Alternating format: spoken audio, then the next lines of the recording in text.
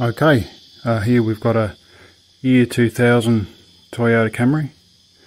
Um, we've got this peculiar type of wear in the paint, so it's sort of like a patterned uh, wearing in the paint. On the other side it's okay.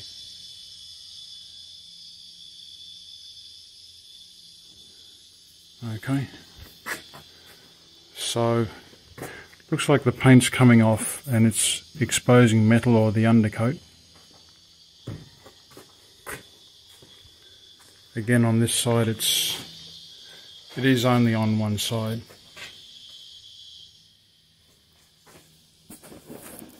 Um, so what I'll be doing is just a very uh, basic type of uh, painting. I won't be using spray paint. I will be using rust paint, um, White Knight uh, rust paint. So I'll just be giving it a sand back, getting rid of these pits here as much as possible. It doesn't have to be perfect. Um, I'm going to tape along here. Uh, that's the door rubber there, so tape up the raw um, door rubber. Um, come down here and uh, just make a loop around there. Um, to get the uh, paint mixed, I removed this uh, small bit here. I'll be replacing that with silicone, so that's just a bit of the moulding. And uh, I got this paint here. Okay, that probably won't focus.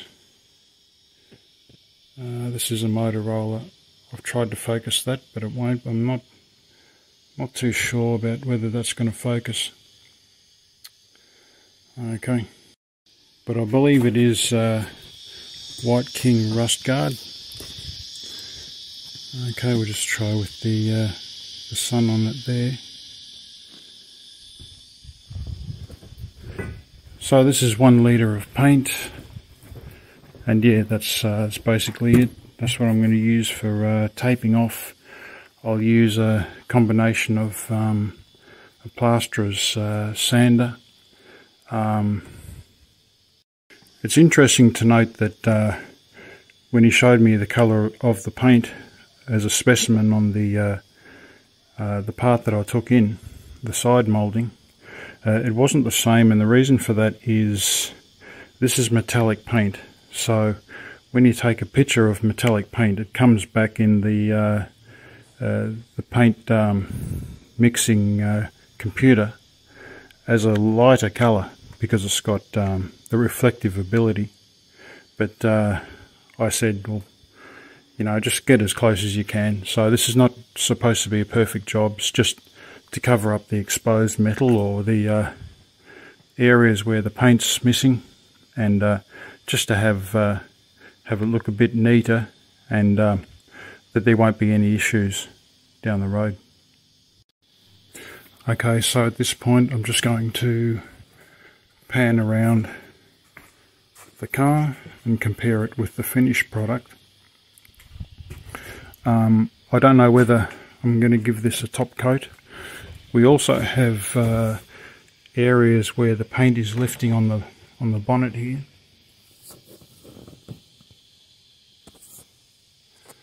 Okay, so I'm thinking I might give that some clear coat. I don't know, but um,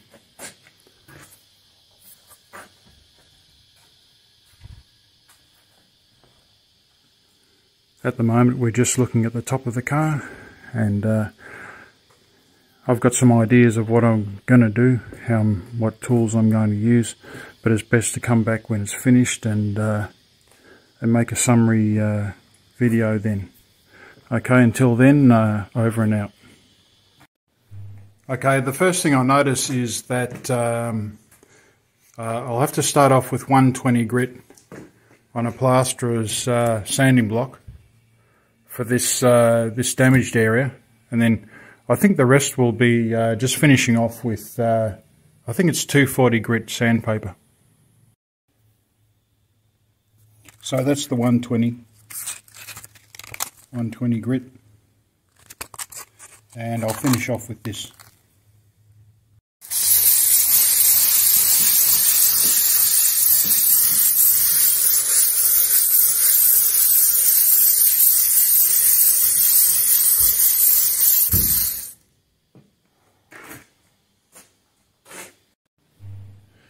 Okay, so there she is, ready to be painted. Didn't take that long. Um, this side here was the easiest because the paint is kind of deteriorated.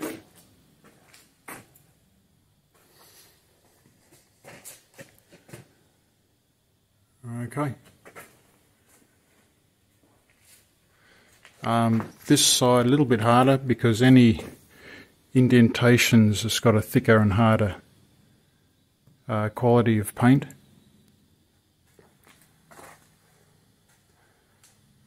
Um, I'll show you what I used in a second.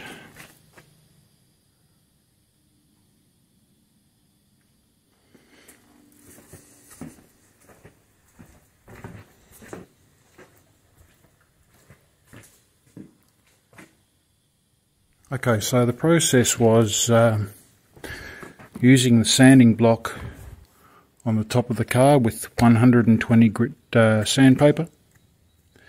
Um, for the side I used a sanding block with 120 grit sandpaper around it to do uh, to do in the crevices, the round crevice here and the V crevice here.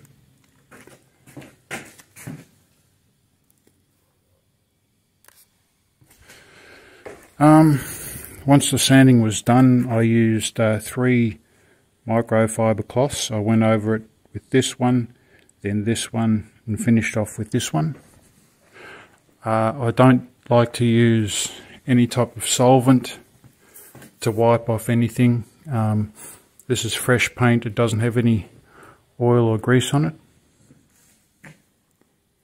Um, the Chevrolet C20 I used uh, soap and warm water and uh, I think was a cloth to clean it. Okay, so I just have to make sure that you know there's no missing uh, tape and then I'm going to use a, uh, a roller and these uh, sponge rollers the round ones. I'm not going to use the material or cloth ones. So that's the type there. That goes on that uh, there. That pushes on, and uh, I'll get my paint, and I'll just roll it on. Okay, it's the 18th of the 2nd, 2023. So a couple of weeks after the uh, first lot of work was done. Uh, looking along the top, it's dried with this, you might be able to see it here, how um, the overlapping, so if I rolled this side, when I went around to the other side and rolled it, there's an overlap. Um, but what I'm going to do is I'm going to give this a sand. Um, I've grown used to the uh, the different colour, and uh, it kind of looks a little bit like an old-fashioned uh, uh vinyl roof or material lining. I think it's going to look okay, um, but I'll give this a, a light sand and another coat. So, with the front, what I've decided to do here is the paint itself is pretty good. It's just got these kind of um, pits uh, at this stage, what I'm going to do is give it a light sand with wet and dry. I've got a 600 uh, grit wet and dry. I'll give it a light sand. But right now, for this car, you know, it's got about 270,000 kilometres on it. Um, I'm happy with the condition of the bonnet. I just want to make sure nothing else is going to happen. Um, so yeah, just light sand the uh, the roof of the car, give that another coat tomorrow morning, Um, the reason I say tomorrow morning is it's pretty much the middle of summer in terms of temperature, so the second month into summer. And if it becomes too dry, or sorry, if it becomes too hot, um, it'll dry by the time you get to the other side and roll on the other side. You'll, you'll have like an overlap. Um, what I'm going to do this time as well after sanding is I'll roll this about a metre or 600 up then I'll go to the other side so that the overlap is uh, is less prominent when it dries. And uh, and then I'll give that a, a top coat before it dries. So I'll wait a couple of hours and I'll give that a clear coat. Um, the reason you don't let paint completely dry is because the top coat won't bond to it. I think they were doing that in the 1990s. They were at the factories. They would paint or, or apply the the top coat the next day, and so 20, 30 years later, the top coat's starting to come off. So, um, yeah, just sand and apply a clear coat, and um, with the bonnet, just um, sand it with 600 grit uh, wet and dry and give it a clear coat. And that's the uh, the paint that I've shown before. That's White Knight. And that was a match up at, uh, I took a, a piece of moulding into Bunnings and they matched up with this colour. So I think I've shown that before, but it is a different texture and colour. But, you know, I'm, I'm looking for durability and I think all this work will, uh, will work. Okay, well the uh, the roof is sanded, um, the bonnet is sanded, or the hood. Um, what I did was I used this 600 grit wet and dry sandpaper. I did have to wet it, so I've got a small bucket, my special bucket, and um, microfiber cloth, and I had a fair amount of water on it, but I just, I wet down the surface and uh, then I just did a circular motion. I went up on any ridges, so there's a ridge here. Would go up on the ridge there and, and all around. I taped up the nozzles. Um, with the ridges, I went over especially with a piece of uh, wet and dry I had used, so just up along the ridge there, around there and across there. And then just uh, wipe it off and keep cleaning the water out and wipe it off and clean it up. Now there is an issue. We do have a spot of rust here.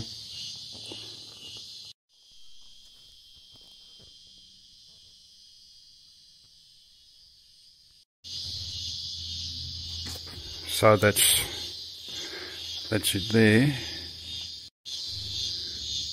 but apart from that, um, I think there was another, yeah, another small bit here. So anyway, that's the hood. And as it's drying, we can see that it's been sanded here. It looks uh, slightly abrased there and uh, doesn't have the glossy look of where the water is. So that's, uh, I've just got to get some of the uh, paint I use for the roof and just tape it up and put a few dobs on the uh, rust spots there.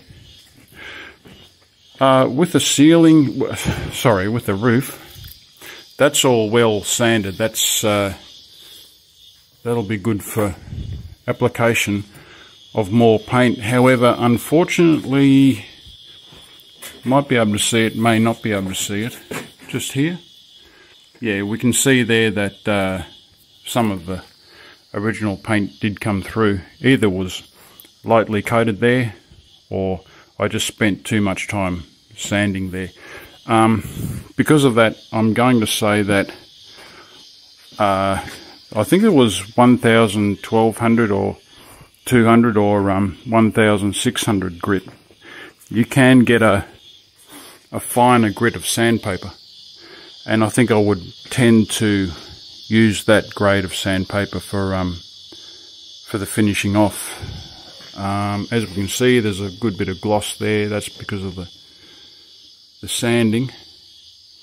Um, the overlap's gone. You can see here there's no more overlap.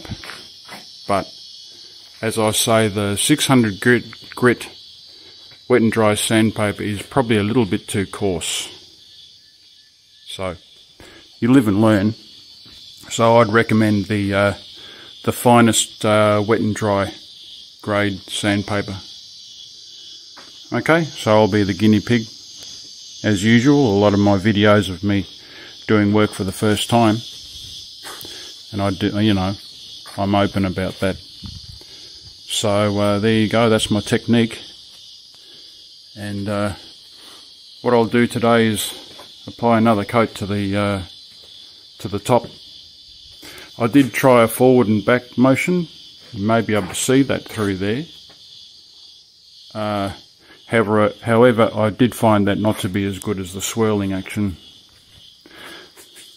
Uh, the sandpaper will stop and you just have to lift it up a bit and keep going. It will jam, uh, will jam on the on the surface. Any more painting I do do, because as I say, it's uh, the middle.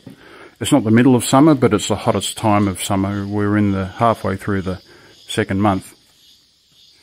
Um, because of that, I'll, any painting I do will be in the morning when it's uh, cooler, and you won't get that edge to it that overlap to it when you swap over to the other side.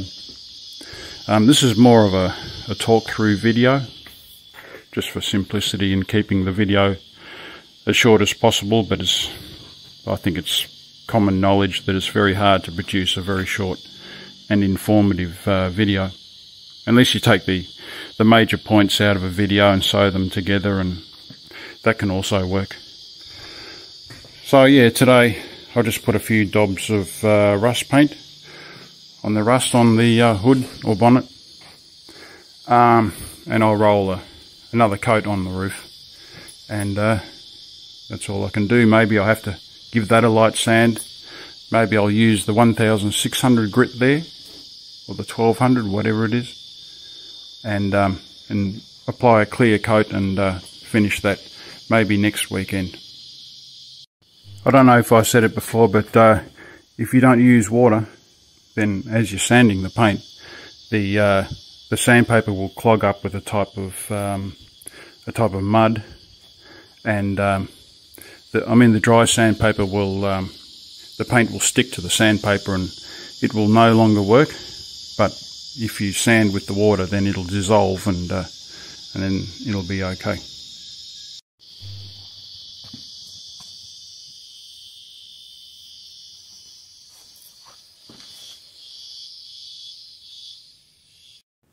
Okay, so it's the next day and uh, it's been sanded back and the other section here just to sand it flat. As we can see I've spent more time here with the wet and dry where the uh, where the paint was applied and we can see that it's a little bit of a different texture. Um, it's sanded more heavily than the rest but the rest is sanded so uh, with that I'm happy Okay, it's now Easter uh, Saturday, the 8th of the 4th, 2023. I've got two cans of uh, clear coat um, spray on can. So this is the product I'm going to be using. Um, this wasn't available, it was out of stock for about a month, but eventually um, I got somebody or somebody decided to look in the back of the shop and was able to find uh, two of these cans. Now the roof is another story altogether. Um, so I looked into it even more and I got a, a spray can made up at uh, Supercheap Auto, but that's the colour there and we can see clearly that it's uh, it's sort of a rosy or pinker colour. I did bring in the uh, the the paint code from this car. But um, yeah, that's not a good match, and that's Bunnings. Uh, that's Bunnings match, and we can see that that's absolutely not the right uh, colour. I also went to Toyota, Toyota shop, and they didn't have any paint at all to supply. So that's uh, that's the very best that we can do. Um, I did sand this with. Uh, it did have some streaks from the roller. Um, I sanded this with this uh, wet and dry um, 1200 grit. It says 120 there, but there's two zeros here. Okay, and the paper's cut. That's 1200 grit. I was able to get some streaks out, however, this morning I see that they're, they're still there, but just not as bad. So standing here on top of the car, may be able to see just over there some streaks um, and maybe along here. Um, but that's that's acceptable. Um, that'll be sprayed with uh, clear coat as well. So that's what it'll be. That's except for going to a, a paint shop and getting them to spray it. That's the best you can do here. Is is that colour there? Um, the texture, I thought I would, I was thinking of rolling it with uh, like a material type of uh, roller, like this one here. Um, by the way, it's a really nice day. We're in the fourth month, and uh, the first three months in Australia very, very hot. And that's probably why the streaking was on top of the car because of the heat. It's nice cool temperature, very comfortable today. But yeah, I was going to use a material roller and uh, apply the same colour paint with that. Uh, the reason for that would be to try and get it to look like an old-fashioned um, material lining. There are a few other things I wanted to point out. So all I'm going to do now is spray it. Um, it's going to be a bit hard to film it because it is an important um, part of the job, I might just try and get one shot of uh, of the hood or something. Yeah, so that's it. I just wanted to show the uh, the can from Supercheap Auto colour. Yep, that's it. He mixed it up and put it in a can. Got the directions of use there. Um, you may have to uh, pause and rewind a few times to read all of this.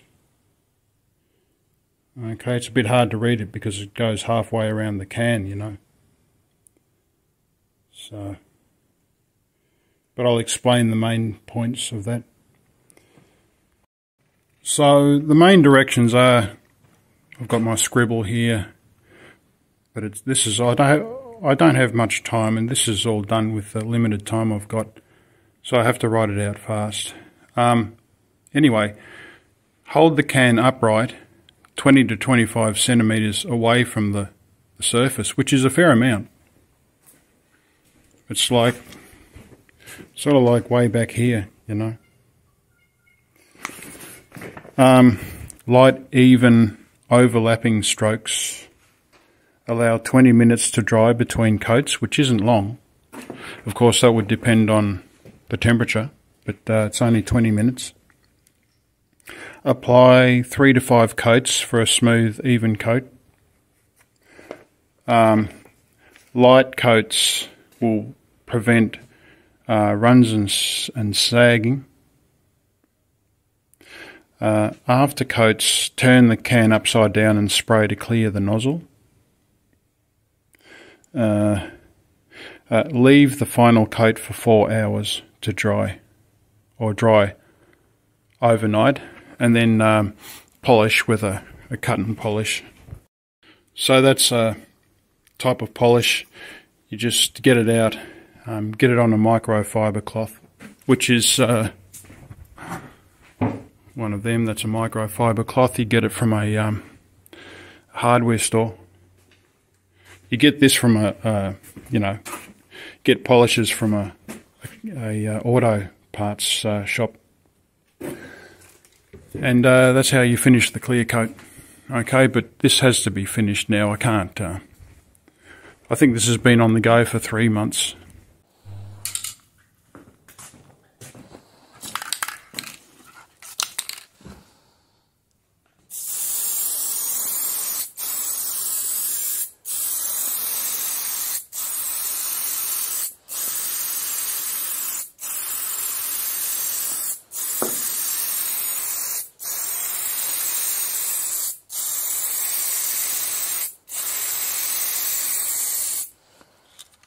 Okay, well, uh, that's the work done now. So it's uh, four coats on the uh, bonnet or the hood, and uh, yeah, five coats and four coats on the uh, on the top of the car. You can see it looks a bit. It's got a bit of a, a white haze to it, and uh, what has to happen now is it has to be polished up. Okay, so anyway, now I can take everything off. Um, I can continue on with the end of year reset. So I've got to clean inside and do a little bit of engine work. Most of it's done. Um, I have to take off the wheels and just make sure there's no rust and uh, just tread it behind the, the wheels. Um, so with the spray can, there's always a trick uh, to everything and with this it's a good idea to wear gloves, but make sure that with your spray finger, this one here, the glove is on tight and pulled back, okay? Because if the glove overhangs and, and obstructs the, uh, the jet, the paint coming out, then you'll get, uh, you know, you'll get clumps of it uh, on your work. With safety gear, unfortunately, if you're a young bloke, um, you know, just grabbing a can and going over and spraying it, unfortunately, just doesn't work. There's also your health and your longevity. It's a good idea to wear eye protection, but I wear glasses for reading, only for stuff, you know. Say, I can read. I can read this, but that, no. Uh, actually, in the 1980s, you know, we never had writing that small. So that's a fairly new thing. Okay, well, I think that's it now. I Don't think there's anything anything more to add. Um, I think it's just a matter of uh, showing it when it's fin finished and polished. Excuse my stuttering, but uh, I've got a fair bit to do. I've had a fair bit thrown at me recently. But anyway, yeah, that's it. I think uh, you know that's the paint, that's the uh, clear coat, um, the 1,200 grit just to uh, make sure it was okay. I'm getting blown away here. Yeah, so that's it. You know, yes, I went in a few uh, wrong directions. Now I know that for clear coat, for the top coat, you uh, you just get cans and spray it on. Um, so, uh, but anyway, that's the way to go. Um, it's a bit of a rough texture, but as I say, it has to have the um, the polish applied to it. Um, been sitting for about close to half an hour, and we can see there's a few damp spots there.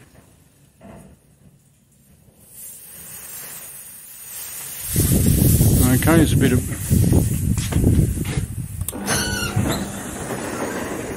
bit of wind. But um, yeah, no, I um, at this point in time, I suppose I'm just uh, digressing or just wasting time. So uh, I'll show it when it's finished. Okay, we're in our time machine now, and today's date is 14th of the 2nd, 2024. Forgot I still have some um, some notes to talk about. Um, look, when I taped up and uh, after spraying the clear coat, after two hours, I took all the, uh, you know, the, the taping up. I removed all of the tape a little bit too early, and some areas did actually um, peel off. So, may be able to see a little sort of a V, a V notched out section there. And on the other side, you can probably see this one that's probably more prominent just toward the front there. So I had to uh, respray this because some of it did actually lift after two hours. Um, so you may want to wait, say, 24 hours before removing the tape.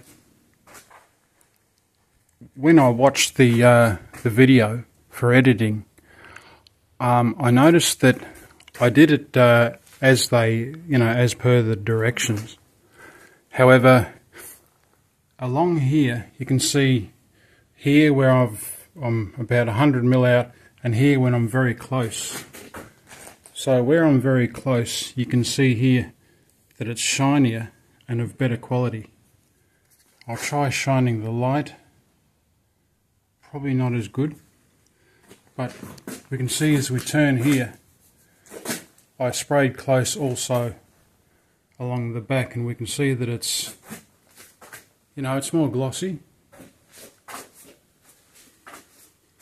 Along the back there, you can see the ridge between that and here where I sprayed closely. So we'll just work our way along here. Okay. Okay, that's uh, the only extra I needed to add, so uh, um, all the best. I hope it works out for you.